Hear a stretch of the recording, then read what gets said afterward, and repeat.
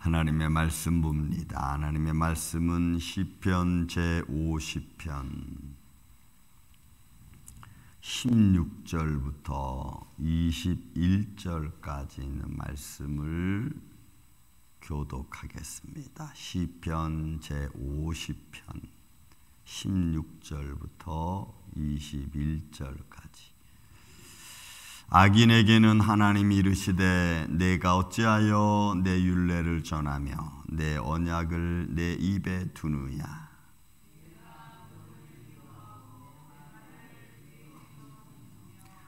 도둑을 본즉 그와 연합하고 간음하는 자들과 동료가 되며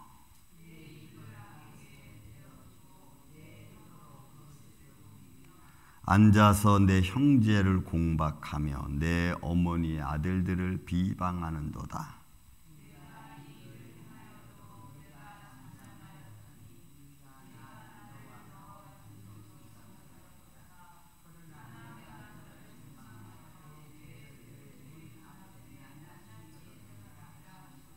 아멘. 자, 시편 50편 말씀 오늘 본문에 있는 말씀 속에서 악인에 대한 겁니다. 아, 이 악인에 대한 거면서 이 악인 어, 이 악인은 어, 로마서 우리 바울이 로마서 6장 12절부터 14절까지 나와 있는 말씀. 너희 몸을 죄의 병기로 들이지 말라 이렇게 말합니다. 그러니까 죄가 너를 주관하지 못하게 하라라고 하는 그런 의미가 오늘 본문의 말씀에 담겨져 있습니다. 아, 여기서 악인이라는 말은 라사라고 하는 이 라사라고 하는 크리미널 사람을 말하는 그러니까 범법한 이미 죄를 지은 자를 말하는 거예요. 그러니까 죄를 범한 자가 의를 말할 수 없다는 거죠. 그러니까 하나님은 죄인이나 병든 자나 귀신 들린 자가 하나님 말씀을 외치는 것을 하나님은 원치 않아요. 그 하나님이 원하는 게 아니에요. 그래서 귀신 들린 자 우리가 공감봉에 보면은 아 당신은 하나님의 아들 거룩한 사람이다 말하면 아, 예수님 너 조용해. 왜요? 귀신은 그 자체가 거짓이고 그 자체가 거짓의 아비의 모양이기 때문에 그들의 입에서 의가 증거될 수 없는 거예요. 그래서 하나님은 하나님의 거룩함은 죄인의 입에서 하나님의 거룩함이 증거가 사단의 입이 하나님을 증명할 수 없다는 것이에요. 그게 그게 전제예요. 그러니까 여기서 악인은 하나님을 믿지 않고 또 그 의지하지도 않고 하나님을 무시하는 자가 아 그래 뭐, 뭐 너의 신이 뭐 너의 하나님이 아니면 그래 하나님이 있지 뭐 이런 그런 말도 안 되는 자기는 믿지 않으면서 말도 안 되는 말을 하는 것을 말하는. 그러니까 예를 들어 범법한 자가 재판소에서 의를 말하는 것 그 용납이 안 된다는 거죠. 왜? 그러면 네가 왜 범법자가 되었느냐라고 하는 자기 자신에 대한 상반된 의견이기 때문에 그래요. 그래서 여기서 악인은 바로 그런 걸 범법자를 말하고 불법을 이미 행한 자를 말하는 겁니다. 자, 그런 자가 하나님 이르시되 내가 어찌하여 내 율례를 전하고 내 언약을 내 입에 두느냐. 그러니까 범법한 자의 입에서 하나님의 언약이 하나님은 거룩한 자고 하나님은 우리를 구원할 자고 하나님의 언약 이거 말할 수 없다는 거예요. 예, 그러니까 이게 왜 자기 삶이 그거를 뒷받침해 주지 않기 때문에 그게 성립이 안 되는 것을 말하는 거예요. 그걸 악인이라고 말해요. 그래서 내 윤례를 전하고 내, 내 언약을 내 입에 두느냐. 왜? 넌 어떤 자라요? 17절 보니까 내가 교훈을 미워하고 하나님 말씀 싫어하는 거예요. 인정하지 않는 거예요. 그런, 그런 것들을 우리는 여러분 구약 성경에 얼마나 많이 나옵니까? 특별히 광야에서의 이스라엘 백성들의 생활은 그야말로 악인 중에 악인이에요. 그래서 하나님이 이 목이 고든 백성들아 내가 너희를 어느 때까지 참고 기다리겠냐라고까지 하실 정도였으니까 왜 하나님의 거룩한 영광을 보는 그 면전에서 하나님을 대놓고 무시하고 그죠? 하나님을 대놓고 하나 앞에서 우상 숭배하고 신이라고 하고 아니 참 기가 막힐 노릇 아니겠어요? 그러니까 내가 내 교훈을 미워하고 내 말을 내 뒤로 던지며 안 듣는 거죠. 귀뚱으로도 안 듣는 겁니다. 안 듣고 또 도둑을 보면은 어 오케이 끝 그거 연합하고 어 그거 맞다 그러고 어 그게 옳다 그러고 도둑을 보면 또 가늠하는 자나 동료가 단들과 동료가 되고 그들의 어떤 윤리적이고 도덕적인 것을 보면 오케이 여러분 오늘날 이 시대 그렇잖아요 지금 가만히 보세요 이 시대는 악인의 모습을 그대로 본다고 있잖아요 그러면서도 뭐 의의를 말하고 뭐 법적인 것을 말하면서 옳다 그러고 거짓을 옳다 그랬는데 뭐 할 말이 있겠어요. 제가 어디 지금 사진 찍어 오는 게 하나 있는데 화장실에 갔더니 여러분 우먼, 맨 이걸 띄었어. 그럼 없어요. 그리고 거기다 뭘 붙여놨더라. 그 같이 들어갈 수 있어. 그 그렇게 해놨어. 그러니까 세상이 거짓을 옳다고 얘기하는데 과연 우리는 이런 세상을 뭐 떠날 수는 없잖아요. 이 세상에서 우리가. 이 세상 밖으로 나갈 수는 없잖아요.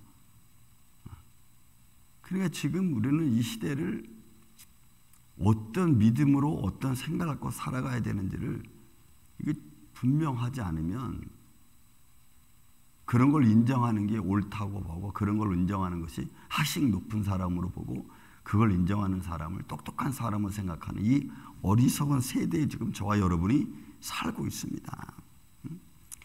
도둑을 먼저 그와 연합하고 가늠한 자들과 동료가 되고 내 입을 내 입을 악에게 내어 주고 그러니까 우리 입술이 악인의 입술처럼 나오면 안 돼. 그러니까 그냥 그죠? 우리 입술에서 여러분 아름답고 이쁜 입술 가지고 얼마나 사람을 많이 죽입니까? 말총이라 그러잖아요. 말총. 말로 사람 얼마나 죽이 죽일 놈, 살릴 놈. 그죠? 우리 너무나 많아. 우리 마음에 안 된다고. 하나님 마음에 들고 안 들고는 생각 없이 내 마음이 안 들고 내 감정이 안 된다고 죽일 놈, 살릴 놈. 옛날에 그랬잖아요. 어른들의 말. 욕이 몇 가지가 붙죠. 야, 이 지랄하고 나가서 자빠져 죽일 놈아. 그죠? 예, 우리는 그것보다는 그런 것을 이길 수 있는 것은 칭찬입니다. 그리고 인정해주고 감싸주는 것. 우리는 그런 걸 잘 못하죠. 저도 잘 못하는 사람인데 그렇게 하려고 막 애를 씁니다. 분노가 먼저 나오죠. 화가 먼저 나오고 그리고 말이 먼저 나오고 그러니까 그런 걸 참는 겁니다. 말 나올 걸 참고 한 번 더 생각하고 분노가 일어나도 참고 한 번 더 내려놓고 이야기하고. 그래서 뭐 막 그렇게 하고 싶죠. 딱 보자마자 야이뭐 이래서 되겠냐. 그렇지만 참고 더 좋은 것을 생각할 수 있도록. 왜냐하면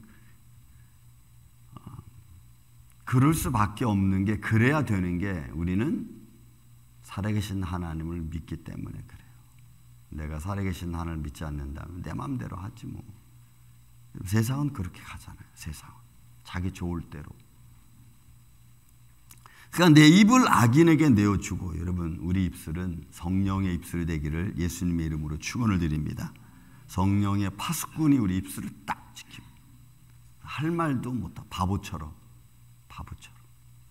그리고 그냥 하나님께 그냥 울기만 하는 하나님, 하나님의 종이, 하나님의 자녀가 오늘 이런 악인에게 이런 어려움을 당하고 있습니다. 좀 도와주세요. 지켜주세요. 이렇게 또내 혀로 거짓을 꾸미며 그러니까 여러분 이거는 아, 우리가 갈라디아서 에베소서도 그렇죠. 에베소서에 보면은 내 작은 혀로 또 야고보서에 보면은 야고보 3장 보면은 혀를 다스리는 자가 여러분 온전한 자라습니다. 온전한 자. 작은 불꽃으로 큰 불을 일으키는 그러죠. 또 단물과 쓴물을 내는 뭐 이런 말씀 야고보서 3장 말씀 그대로 나오지. 내 혀로 거짓을 꾸미고 속이고 좋게 이야기하려고 거짓을 덮는 것은 아닙니다, 여러분. 거짓을 깨우치기 위해서 좋게 말하는 거지, 거짓을 덮으려고 좋게 말하는 게 아니죠. 그러니까 이런 것들을 우리가 지혜롭게 잘해야 돼요. 거짓을 권면하면서 바꾸려고 하는 좋은 말들을 우리는 지혜로, 지혜로 자꾸 끄집어내야 돼요. 그런 지혜를 우리가 하나님께 구해야 돼요. 어. 여러분, 어른 아이가 되면 안 됩니다. 어른은 어른답게 해야 돼요. 어른 아이가 되면 감정의 십사입니다. 그러면 여러분 어른이니까 주워박을 수도 없고 그 어떻게 해요? 답답한 거예요. 그러면 어른 아이가 되면 상식이 통하지 않아요. 여러분 이렇게 되면 답답합니다. 상식이 통하는 믿음 생활 그게 이해되는 서로의 어떤 상반된 그런 모습 속에서도 하나가 되어갈 수 있는 그런 모습. 근데 더 이상 우리가 이런 우리 몸이 우리 기관들이 어둠의 세력의 종이 되면 보는 게 어둠의 세력의 종이 되고 또 육신의 정욕, 안목의 정욕, 이생의 자랑, 그죠? 요한일서에 말씀하는 그런 그런 것들이 다 어, 세상 주관자들의 종이 되어버린 말씀 것처럼 그런 동료가 되면 우리는 우리 몸을 가지고 우리 욕망을 취할 수밖에 없어요. 그럼요, 우리 임마누엘 장로교회 오늘 이 아침에 저 여러분은 우리 예배자들은 하나님의 성령의 도구, 성령이 역사하는 우리의 몸, 여러분들의 삶이 되기를 예수님의 이름으로 축원을 드립니다. 네. 그래서 이런 것들은 정말 우리가 깊이 마음에 새겨야 돼요. 한 번 듣고 흘러갈 게 아니고 아, 이래야 되는구나. 아, 이래야지. 나도 이래야지. 나도 이래.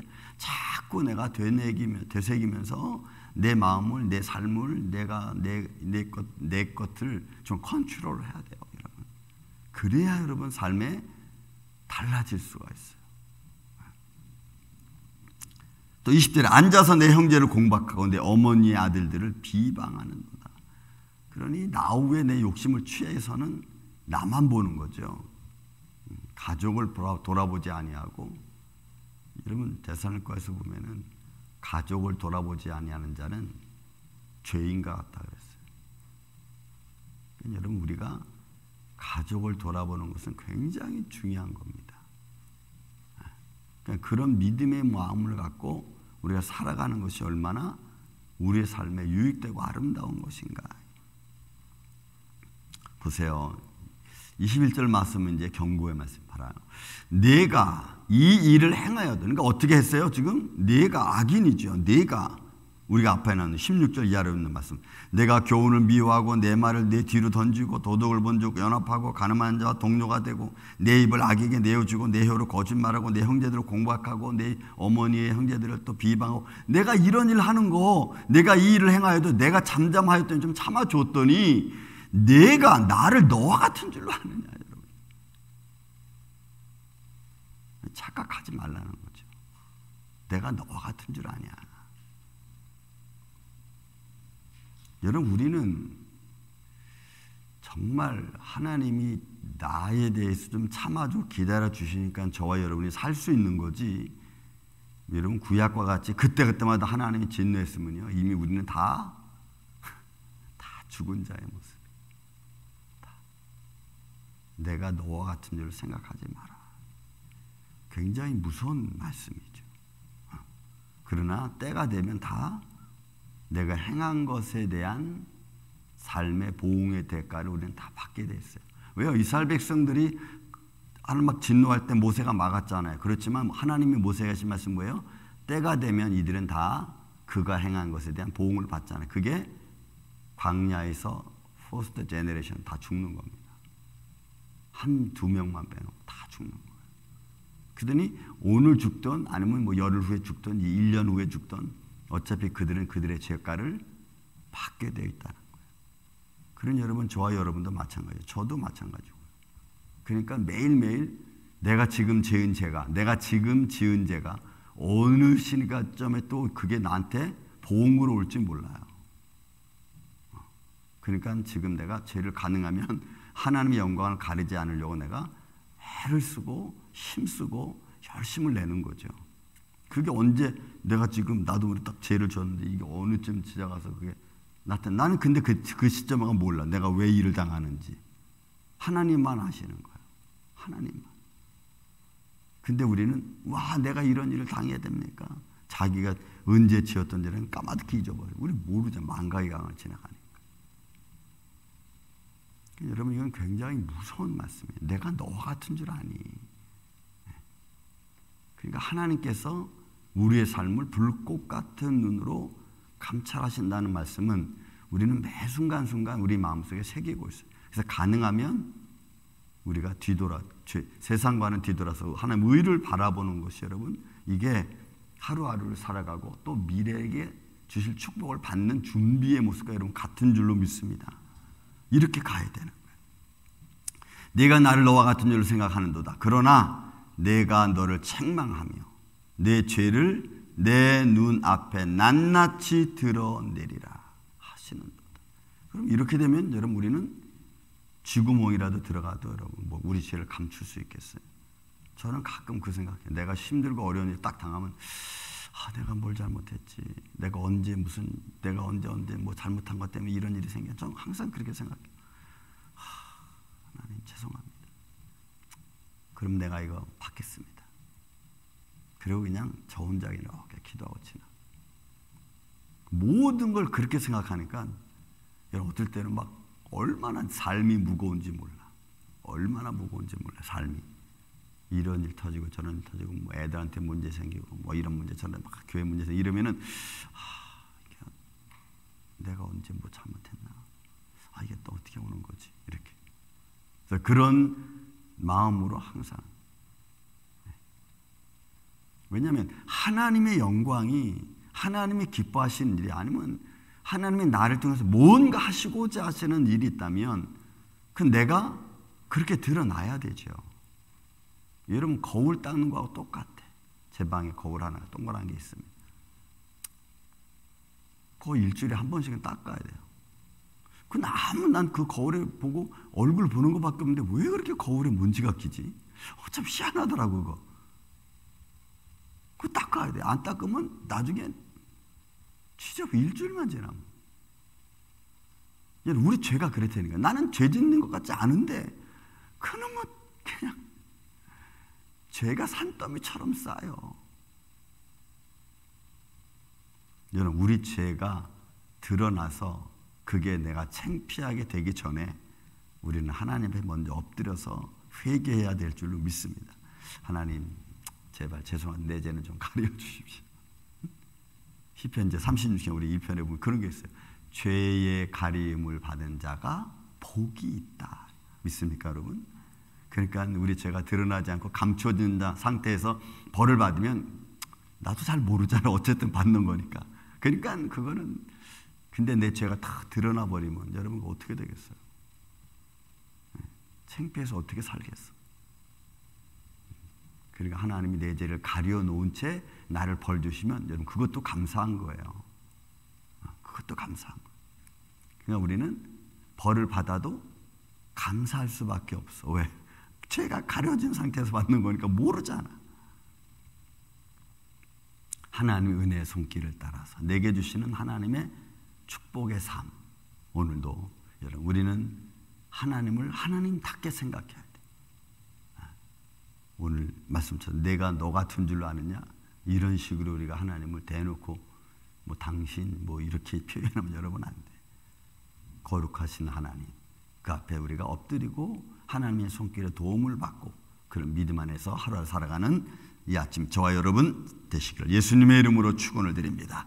사랑과 은혜가 많으신 아버지 하나님 감사합니다.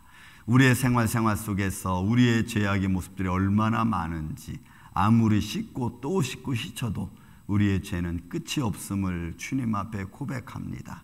우리를 용서하여 주옵시고 시간마다 분초마다 우리에게 은혜를 베풀어 주시옵소서. 주님 감사합니다.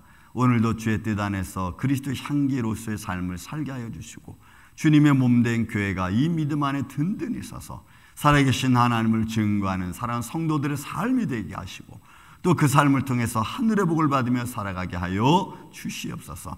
어둠의 세력이 우리를 시험하고 우리를 이용해서 어떤 모습으로든지 불편함을 만드는 어둠의 세력 앞에 십자가 군병처럼 설 수 있도록 주여 붙들어 주시고 지켜 주시옵소서. 이 은혜의 삶이 오늘도 이 아침부터 잠때리는 순간까지 우리와 함께하여 주시옵기를 원하오며 사랑이 많으신 예수님의 이름으로 기도하옵나이다. 아멘.